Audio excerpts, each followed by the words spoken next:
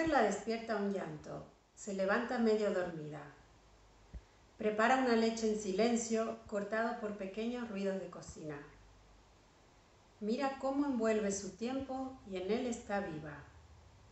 Sus horas, fuertemente tramadas, están hechas de fibras resistentes, como cosas reales.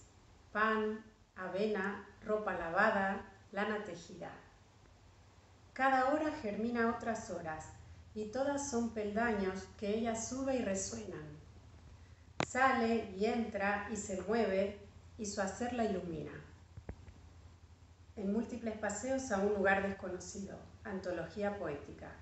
1958-2014.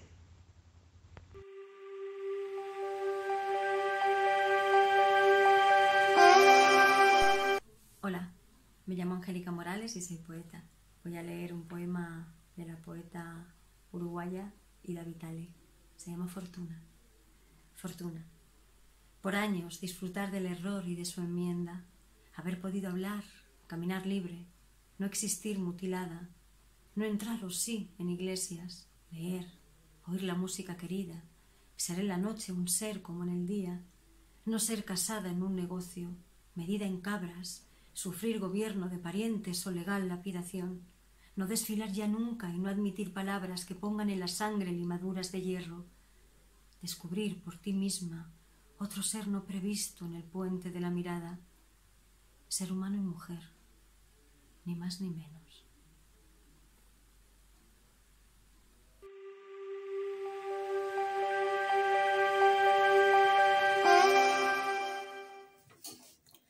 Como Margarita en el teatro no tenía tiempo para charlar, pronto me invitó a ir a comer a su casa. Después íbamos a dar un paseo por el retiro y si no había ensayo, con el coche hasta la sierra, a ver y pisar nieve. Hablábamos de todo y todo lo comentábamos. En invierno, a las cuatro y media o las cinco, volvíamos a Madrid. A veces me quedaba en el ensayo hasta la hora de la función, en que me iba mi querido Liceum. Hice figurines para varias de sus obras, en las que el escenógrafo era Sigfrido Burman, con el que estaba muy sintonizada, para la colaboración de sus decorados y mis trajes. Un día tuve el encuentro sensacional de conocer a Federico García Lorca. También nos unió el chispazo de la amistad. Nos íbamos a un café de la calle de la Visitación a charlar y charlar y charlar. Muchas veces que yo estaba comiendo en casa de Margarita, sonaba el teléfono y la muchacha decía, no entendí bien, algo así como Filipuncio, Estratogen de Zuzuleto. Margarita me decía, ve al teléfono, que es Federico, y dile que venga a tomar café. Y Federico llegaba al minuto, como si hubiese llamado desde la portería. Empezaron los ensayos de Yerma. Era maravilloso ver cómo iba tomando cuerpo la obra leída por Federico. Cada día un acierto nuevo. Era una creación continuada. Creo que no hay placer mayor en la vida como el trabajo teatral. La fantasía hecha realidad para transmitirla al público, viviéndola desde la escena.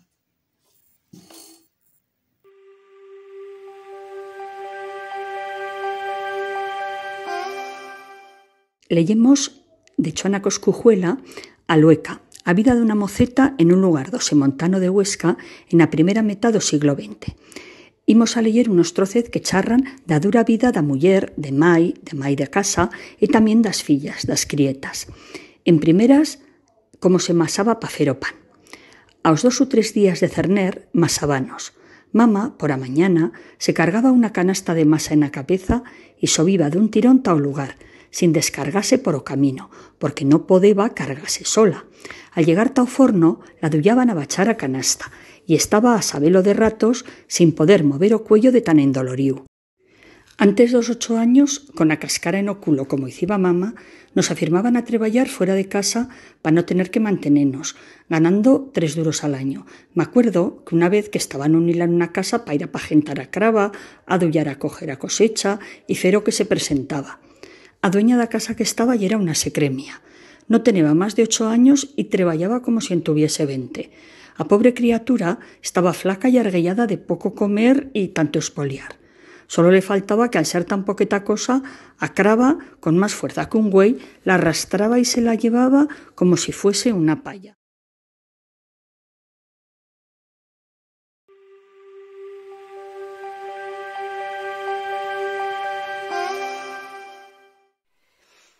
Verso. Dulce María Loinaz, 1902-1997. Cheche, muchacha que hace flores artificiales. Este es el título del verso. Cheche es delgada y ágil y va entrada en el otoño. Tiene los ojos mansos y la boca sin besos. Yo la he reconocido en la paz de una tarde, como el hada Yamustia de mi libro de cuentos. Cheche es maravillosa y cordial. Vuela sin alas por calles y talleres. En invierno hace brotar claveles y rosas y azucenas, con un poco de goma y unas varas de lienzo. Esta Cheche hace flores artificiales. Ella es la abastecedora de escuelas y conventos. La primavera la hace florecer como a tierra virgen y la, y la deshoja y la sacude en pétalos. Ella tiene la altura de los lirios pascuales en sus manos y tiene que pasar por sus dedos la misma corona para la niña de, primera comunión enviada desde el cielo. Cheche no llora nunca, no necesita cantos en su trabajo largo, silencioso, ligero. Es seria sin ser agria, es sutil sin ser tosca. Es tierna sin blandura y es buena sin saberlo. Yo no sé de árbol fuerte más fuerte que su alma, ni de violeta humilde comparable a su gesto, ni de ojos de niño más puros que sus ojos, ni de música grata aún más que su silencio. Ella es la primavera menor, la segadora, la segadora de prados irreales, de jardines inciertos. Ella es como el rosal vivo, como un rosal. Cuando ya hasta las flores su aroma van perdiendo, yo he encontrado en las flores de Cheché la fragancia de los antiguos mayos, de los cerrados huertos. Más que un clavel me huele a clavel su inocente clavel de trapo, y más que otras tierras yo creo que serviría para sembrar una esperanza, la poca tierra humilde y noble de su pecho.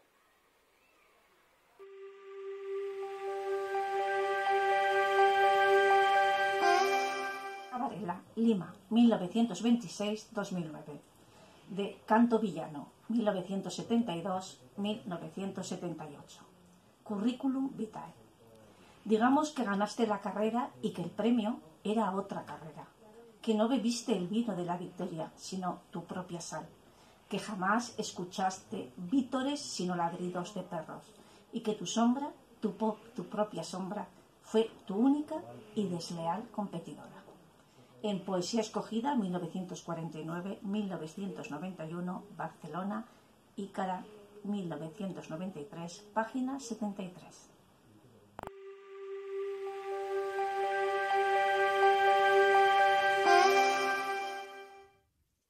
Texto de Rosalía de Castro.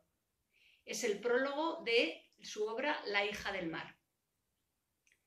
Antes de escribir la primera página de mi libro, Permítase a la mujer disculparse de lo que para muchos será un pecado inmenso e indigno de perdón, una falta que es preciso que se sincere. Bien pudiera en verdad citar aquí algunos textos de hombres célebres que, como el profundo Malebranche y nuestro sabio y venerado Feijó, sostuvieron que la mujer era apta para el estudio de las ciencias, las artes y de la literatura. Posible me sería añadir que mujeres como Madame Roland, cuyo genio fomentó y dirigió la Revolución Francesa en sus días de gloria, Madame Staël, tan gran política como filósofa y poeta, Rosa Bonheur, la pintora de paisajes sin igual hasta ahora, George Sand, la novelista profunda, la que está llamada a compartir la gloria de Balzac y de Walter Scott, Santa Teresa de Jesús, ese espíritu ardiente cuya mirada penetró en los más intrincados laberintos de la teología mística. Safo, Catalina de Rusia, Juana de Arco, María Teresa y tantas otras, cuyos nombres la historia, no mucho más imparcial que los hombres, registra en sus páginas, protestaron eternamente contra la vulgar idea de que la mujer solo sirve para las labores domésticas y que aquella que, obedeciendo tal vez a una fuerza irresistible, se aparta de esa vida pacífica y se lanza a las revueltas ondas de los tumultos del mundo, es una mujer digna de secreción general. No quiero decir que no, porque quizá la que esto escribe es de la misma opinión. Pasados aquellos tiempos en que se discutía formalmente si la mujer tenía alma y si podía pensar, se nos permite ya optar a la corona de la inmortalidad y se nos dice y se nos hace el regalo de creer que podemos escribir algunos libros, porque hoy, nuevos Lázaros, hemos recogido estas migajas de libertad al pie de la mesa del rico, que se llama siglo XIX. Yo pudiera muy bien decir aquí cuál fue el móvil que me obligó a publicar versos condenados desde el momento de nacer a la oscuridad a que voluntariamente los condena la persona que solo los escribía para aliviar sus penas reales o imaginarias, pero no para que sobre ellos cayese la mirada de otro que no fuese su autora. No es este, sin embargo, el lugar oportuno de hacer semejantes revelaciones. Al público le importaría muy poco el saberlo y por eso las callo. Pero como el objeto de este prólogo es sincerarme de mi atrevimiento al publicar este libro, diré, aunque es harto sabido de todos, que, dado el primer paso, los demás son hijos de él, porque esta senda de perdición se recorre muy pronto. Publicados mis primeros versos, la aparición de este libro era forzosa casi. La vanidad, ese pecado de la mujer, de que ciertamente no está muy exento el hombre, no entra aquí para nada. Un libro más en el gran mar de las publicaciones actuales es como una gota de agua en el océano. El que tenga paciencia para llegar hasta el fin, el que haya seguido página por página este relato, concebido en un momento de tristeza y escrito al azar, sin tino y sin pretensiones de ninguna clase, arrójelo lejos de sí y olvide, entre otras cosas, que su autor es una mujer. Porque todavía no le es permitido a las mujeres escribir lo que sienten y lo que saben.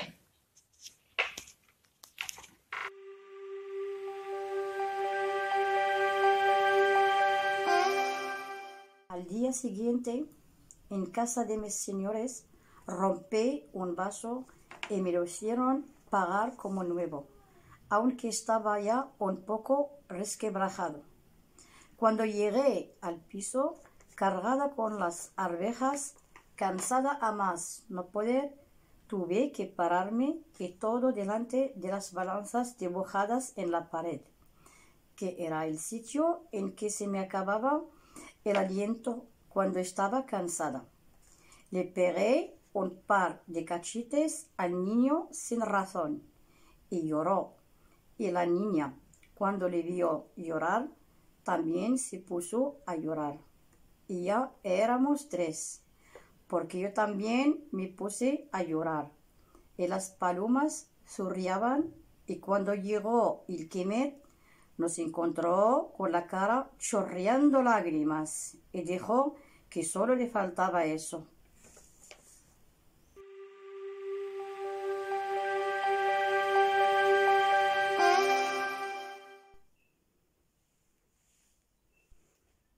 usted. Déjeme de notabilidades. Feita es listísima. Demasiado lo sé. Cuando discurre, discurre mejor que nadie. Pero no está en caja. Es así que me dará guerra. Las otras tienen sus adoradores, como es natural que los tenga a su edad una muchacha.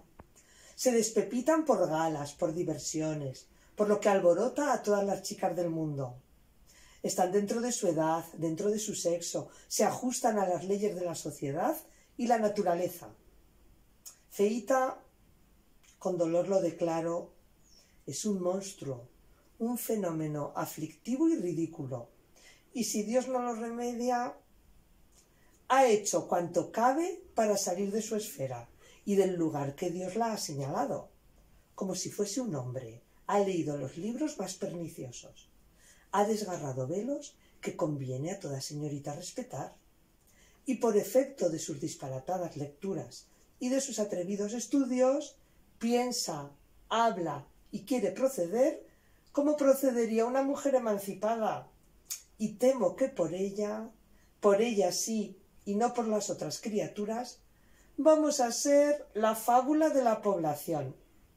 Ahora se le ha metido en la cabeza el mayor de los absurdos.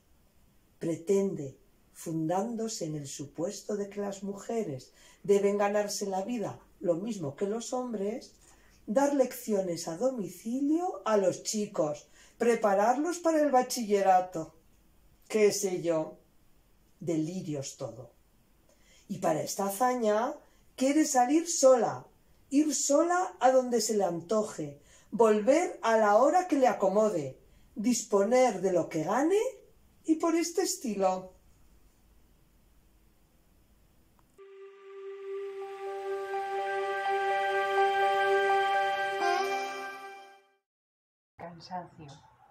Mi angustia, mi alegría, mi pavor, mi humildad, mis noches todas, mi nostalgia del año 1930, mi sentido común, mi rebeldía, mi desdén, mi crueldad y mi congoja, mi abandono, mi llanto, mi agonía, mi herencia irrenunciable y dolorosa, mi sufrimiento, en fin, mi pobre vida.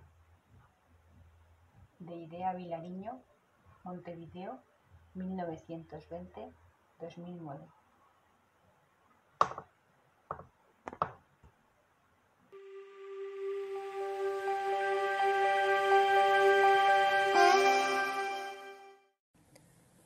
Elena Fortún, Madrid 1886-1955.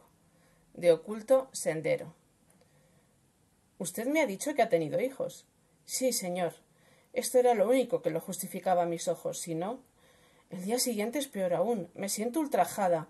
Creo que en la cara me lo conocen y a él le detesto. Siento el mismo horror que si me hubiera violado la fuerza. Ya. Y no es brutal, no, señor. Yo no sé cómo decir a usted, al contrario, es un hombre delicado que quisiera verme más femenina. Ya. Ha procurado hacerme sentir el placer y algunas veces lo ha conseguido plenamente. Usted comprenderá, pero al otro día más horror. No puedo admitir eso en mi vida. Miro la cara de las mujeres a ver si en ellas descubro el mismo horror al macho. Y no. Soy yo sola. Ya. Y el doctor dijo de pronto cuando menos podía esperarlo. Diga, ¿y con alguna mujer no ha tenido trato sexual? Sí, señor. Ya. Pero estoy arrepentida. Comprendo que no, que es indigno de mí y no me volverá a pasar. Ya. ¿Es usted artista? Soy pintora. Bien, muy bien, dijo tan contento como si me fuera a pedir un cuadro. Usted desde niña, mm, muy niña, sintió ese horror al hombre como hombre. Sí, señor. Bien, muy bien. Jugaba como un chico. La familia la llamaba chicazo. Sentía disgusto por los adornos femeninos, alternativas, sin embargo, de feminidad y de violento masculinismo, mucha timidez, épocas de absoluta castidad coincidiendo con un trabajo artístico más intenso, misticismo, mucho. Muy bien. Desarreglos ováricos, irregularidades, dolores sordos. Sí, señor. Póngase de pie. Vuélvase. Fuertes músculos en la espalda. Bien, el cuadro completo. Pues esto que usted tiene no es de mi incumbencia. Debe ir a un psiquiatra. Yo le daré a usted una tarjeta. Puedo recomendarle a uno muy bueno y que no lo llevará caro. Por el pronto deseche usted esos trajes masculinos. Pinte poco, ocúpese de la casa. Con el deseo de perfección que veo en su espíritu, llegará a sobreponerse al desequilibrio de su naturaleza y tratará de complacer a su marido sin demasiado esfuerzo, dijo sonriendo mientras escribía la tarjeta. Su caso es más frecuente de lo que supone, sobre todo tratándose de artistas. Casi diría que el artista no es completo, sino en la calle miré la tarjeta que me había dado y que estaba cerrada en el sobre contra todas las leyes de la cortesía. La leí. Un caso típico de inversión del instinto en persona honrada, exactamente de lo que hablábamos el otro día. Creo que te interesará. Es decir, que me mandaba al psiquiatra como un conejo de indias a un laboratorio. Gracias. No iría. La tarjeta la guardé en el bolsillo y recordé todos sus consejos. Fuera todos esos astres masculinos. La casa, complacer a mi marido, deseo de perfección. Eso sí, puesto que la medicina está en mí, yo la aplicaría con fe. Solo a Jorge tenía en el mundo. Ahora, después de la bochornosa experiencia del amor femenino, me sentía más casta que nunca, amputada de mi sensualidad, limpia de apetitos, sin sexo, como un ser casi divino.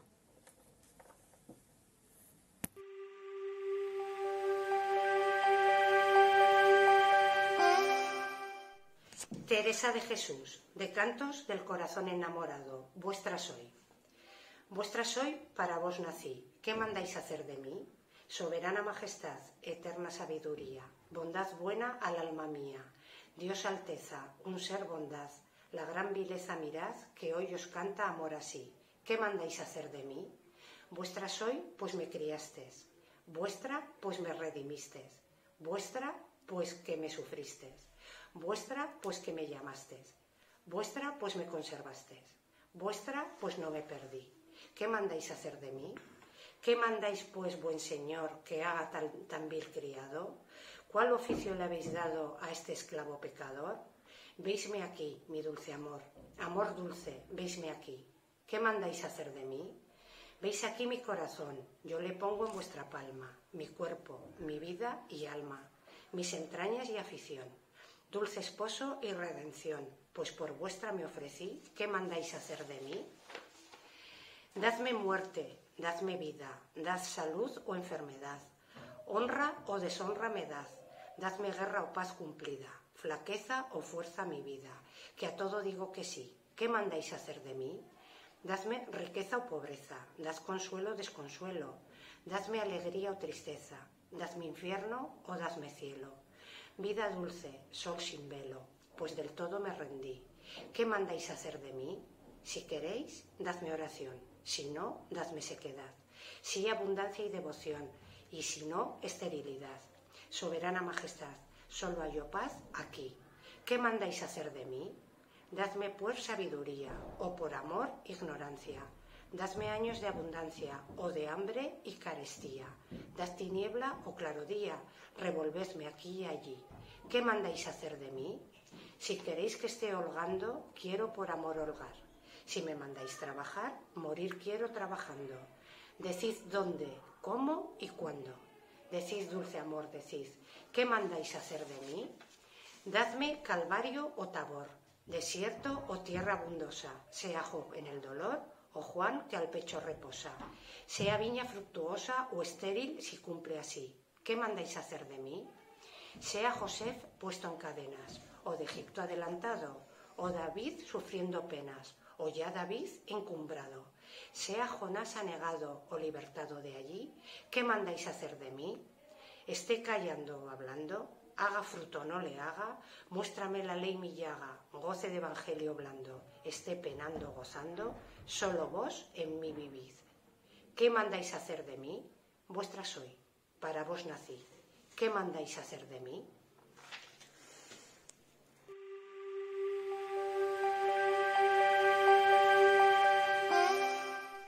Sor Juana Inés de la Cruz, de respuesta a Sor Filotea de la Cruz. Pues ¿qué os pudiera contar, señora, de los secretos naturales que he descubierto estando guisando? Ver que en huevo se une y se fríe la manteca o aceite, y por contrario se despedaza en el almíbar ver que para que el azúcar se conserve fluida basta echarle una muy mínima parte de agua en que haya estado membrillo u otra fruta agria. Ver que la yema y clara de un mismo huevo son tan contrarias que en los unos que sirven para el azúcar sirve cada una de por sí y juntas no. Pero no debo cansaros con tales frialdades, que solo refiero para daros entera noticia de mi natural, y creo que os causará risa.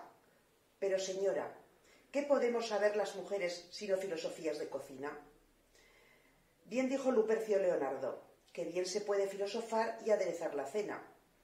Y yo suelo decir viendo estas cosillas, si Aristóteles hubiera guisado, mucho más hubiera escrito.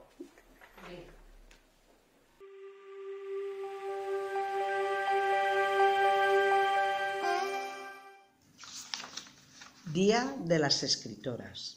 Texto de Concha Méndez, memorias habladas, memorias armadas.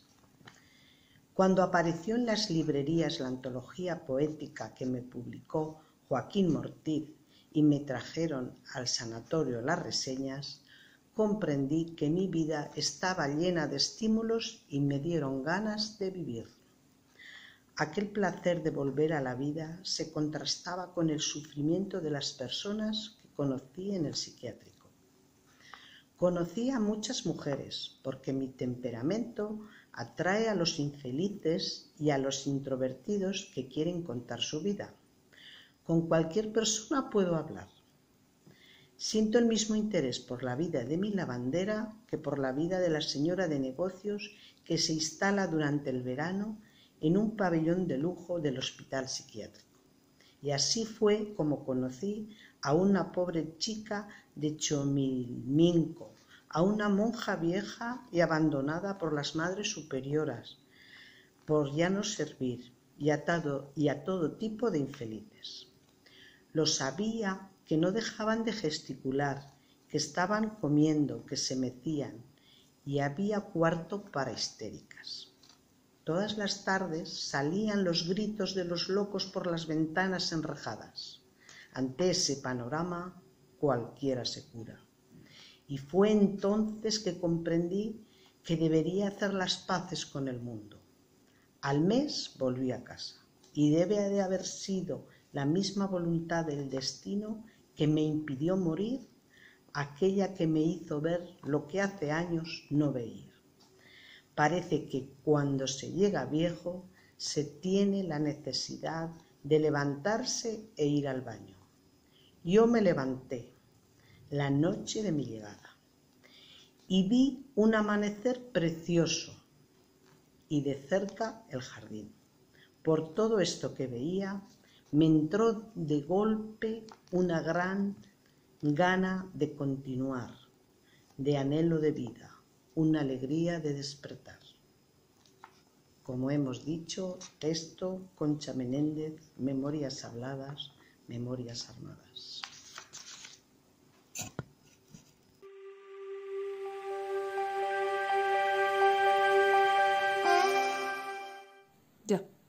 Nota biográfica de Gloria Fuertes.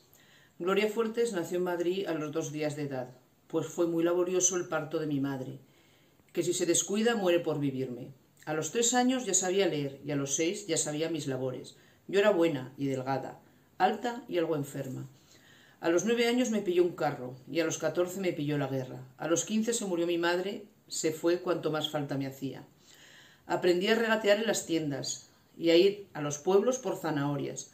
Por entonces empecé con los amores, no digo nombres. Gracias a eso pude sobrellevar mi juventud de barrio.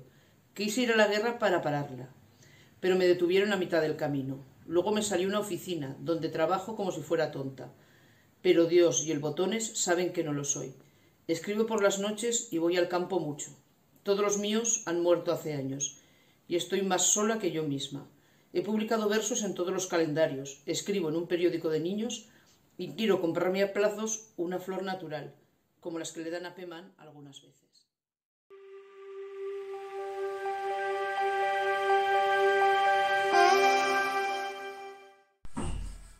Josefina Carabias, Arenas de San Pedro Ávila, 1908, Madrid, 1980. De cómo yo los he visto. Los profanos que leen los periódicos pensarán quizá que una entrevista es precisamente eso, contar lisa y llanamente una conversación, puesto que es eso es lo que simulamos los periodistas. Pero los que, como yo, han hecho muchas en su vida, saben muy bien que en la mayoría de los casos hay que darles muchas vueltas e inventar muchas cosas para que el artículo salga presentable. Si yo me hubiera limitado en los tiempos en que me dedicaba a esta clase de trabajo a contar toda la serie de vaciedades que me decían los personajes a los que tenía que entrevistar, en la mayoría de los casos nos hubiéramos puesto en ridículos ellos y yo. Era preciso siempre llevar el interrogatorio con habilidad a fin de lograr que el paciente dijese algo original y divertido. Y si esto no era posible, conseguir al menos que me lo dejase decir a mí y que lo aprobase para poder ponerlo después en su boca. Más tarde, y ya frente a las cuartillas, había que dar cien vueltas a las cosas, arreglarlas, limarlas, cocinarlas, en fin, cuidadosamente echándoles sal y pimienta. A veces, aún así, resultaba una memez, buena solamente para llenar una columna a falta de cosa mejor.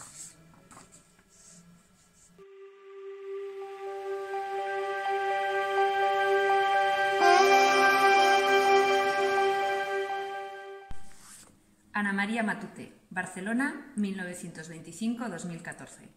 Del Río, Los Hornos.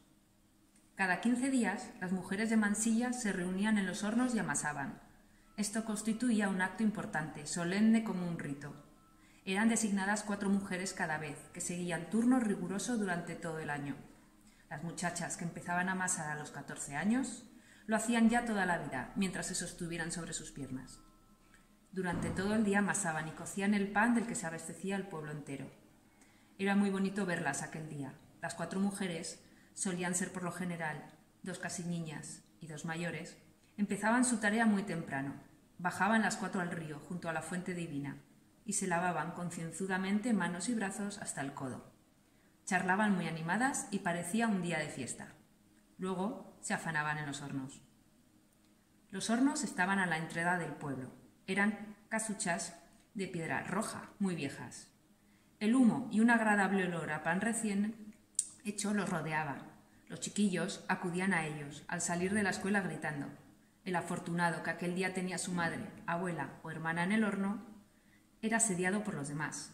Las mujeres hacían muñecos, todo cabeza, que más bien parecían renacuajos. Los cubrían de azúcar y los daban a los niños. Era muy bonito y misterioso entrar en el horno. Mis hermanos y yo seguíamos a los muchachos del pueblo. Dentro el fuego triunfaba, como un rojo dragón devorador. Las mujeres aparecían cubiertas de harina, los cabellos, las cejas y las pestañas blancas. Hasta las más ásperas y desabridas se mostraban ese día condescendientes con los niños.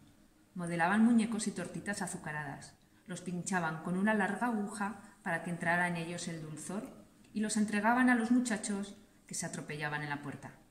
Todos salíamos al fin nevados de harina y gozosos, con nuestra tortita o muñeco de pan brazo al brazo, a comérnoslo junto al río. Las cuatro mujeres del horno eran muy mimadas por las demás. Les llevaban comida en una cesta, primorosamente tapada con una servilleta. Todas se esmeraban en ofrecerles lo mejor y las cuatro panaderas comían apresuradamente y como sin darle importancia. Me gustaba mucho verlas, oírlas y hablarles.